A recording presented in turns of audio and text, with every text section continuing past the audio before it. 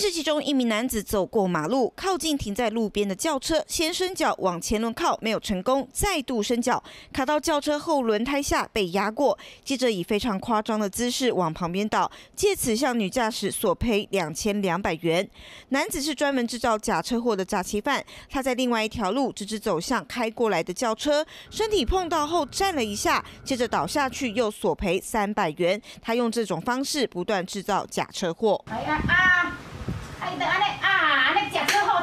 不过也不是每次都得逞，他故意把身体贴到货车上，四脚朝天，夸张跌倒，但驾驶坚持报警才没有上当。还有在菜市场口，也是走过马路后碰撞轿车，往后方倒在机车上，把机车也撞倒了，苦肉计，但最后没有成功。一月至九月期间，在高雄市鸟松、仁武、三民等地区，趁民众开车时故意制造假车祸，借机榨取赔偿。